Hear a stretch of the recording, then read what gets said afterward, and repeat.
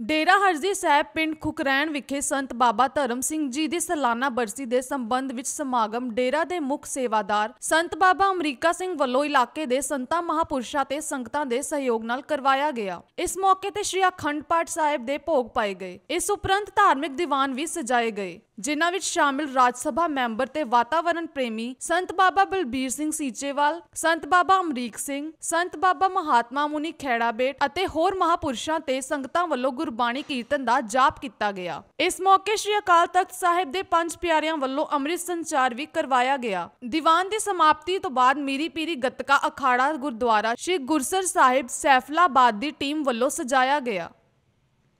ਕਪੂਰਥਲਾ ਤੋਂ ਅੱਜ ਦੀ ਆਵਾਜ਼ ਲਈ ਗੁਰਦੇਵ ਸਿੰਘ ਪੱਟੀ ਦੀ ਰਿਪੋਰਟ। ਜੀ ਖਖਰੈਣ ਵਾਲੇ ਜੀ ਦੀ ਕਿਰਪਾ ਦੇ ਨਾਲ ਅੱਜ ਅਸੀਂ ਇੱਥੇ ਜੋੜ ਮੇਲੇ 'ਚ ਇਕੱਠੇ ਸੰਤ ਬਾਬੇ ਭਾਈ ਹਰਜੀਤ ਦਾ ਸਥਾਨ ਆ ਜੀ ਇਹ।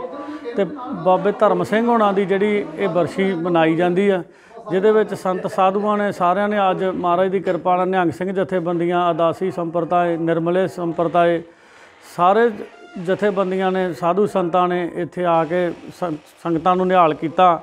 ਤੇ ਉਹਦੇ ਵਿੱਚ ਜਿੱਦਾਂ ਵੀ ਦੇਖੀਏ ਵੀ ਬ- ਸਵੇਰ ਦੇ ਰੋਜ਼ ਤੋਂ ਮਤਲਬ ਲੈ ਕੇ ਪਿਛਲੇ ਜਾਪ ਸ਼ੁਰੂ ਸੀਗੇ ਇੱਥੇ, ਮਹਾਰਾਜ ਦੀ ਕਿਰਪਾ ਦੇ ਨਾਲ ਖੰਡ ਪਾਠਾਂ ਦੇ ਭੋਗ ਪੈ ਜਾਂਦੇ ਆ, ਫੇਰ ਖੰਡ ਪਾਠ ਸਾਹਿਬ ਆਰੰਭ ਹੋ ਜਾਂਦੇ ਆ।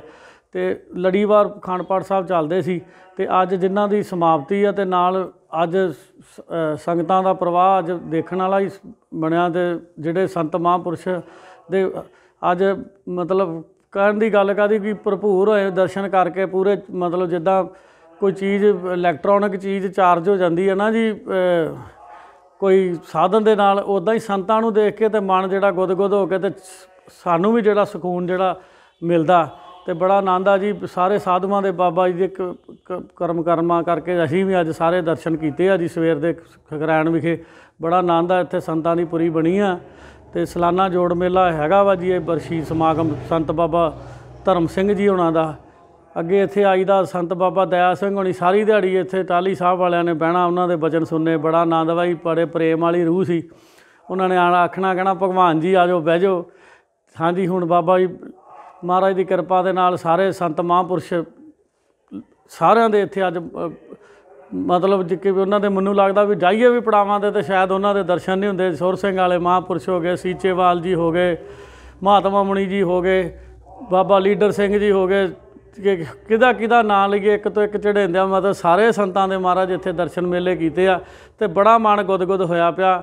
ਤੇ ਇਸ ਕਰਕੇ ਇਹ ਸੰਤਾਂ ਮਹਾਂਪੁਰਸ਼ਾਂ ਦੀਆਂ ਬਰਸ਼ੀਆਂ ਦਾ ਮਨਾਉਣ ਦਾ ਮਨਸੂਰਥ ਹੀ ਇਹ ਆ ਵੀ ਜੇ ਮੰਨ ਲਓ ਸੰਤਾਂ ਦੇ ਦਰਸ਼ਨ ਕਰਕੇ ਤੇ ਸੰਗਤਾਂ ਸ- ਮਹਾਰਾਜ ਦੇ ਲੜ ਲੱਗਣ ਤੇ ਇੱਕ ਵੀ ਮੈਂ ਕਹਿੰਦਾ ਵੀ ਜੱਗ ਦੇ ਵਿੱਚ ਆਪਾਂ ਕੋਈ ਜੱਗ ਕਰਾਉਂਦੇ ਇੱਕ ਵੀ ਕੋਈ ਜਾ ਕੇ ਮਤਲਬ ਬੰਦੇ ਦਾ ਭਲਾ ਹੋ ਜੇ ਤੇ ਉਹ ਜੱਗ ਸਪੂਰਨ ਤਾਂ ਹੀ ਸਮਝਿਆ ਜਾਂਦਾ। ਤੇ ਇੱਥੇ ਤੇ ਕਈਆਂ ਨੇ ਮਹਾਰਾਜ ਦੀ ਕਿਰਪਾ ਕੀਤੀ ਆ, ਕਈਆਂ ਨੇ ਮਹਾਰਾਜ ਦੇ ਜਹਾਜ਼ੇ ਚੜਨਾ ਅੰਮ੍ਰਿਤ ਛਕਣਾ, ਸਿੰਘ ਸੱਜਣਾ। ਮੈਂ ਕਹਿੰਦਾ ਕਿ ਇਦਾਂ ਦੇ ਪ੍ਰੋਗਰਾਮਾਂ ਤੋਂ ਸੇਧ ਲੈ ਕੇ ਤੇ ਚਾਹੀਦਾ ਵਾ ਕਿ ਕੋਈ ਸਿੰਘ ਸੱਜਣ ਅੰਮ੍ਰਿਤਧਾਰੀ ਹੋਣ, ਗੁਰਸਿੱਖ ਹੋਣ ਕੌਮ ਦੇ ਵਿੱਚ ਏਕਤਾ ਹੋਵੇ, ਮਹਾਰਾਜ ਚੜ੍ਹਦੀ ਕਲਾ ਰੱਖੇ। ਮੈਂ ਇਹ ਗੱਲ ਤੇ ਵਾਹਿਗੁਰੂ ਜੀ ਕਾ ਖਾਲਸਾ ਤੇ ਵਾਹਿਗੁਰੂ ਜੀ ਕੀ ਫਤਿਹ।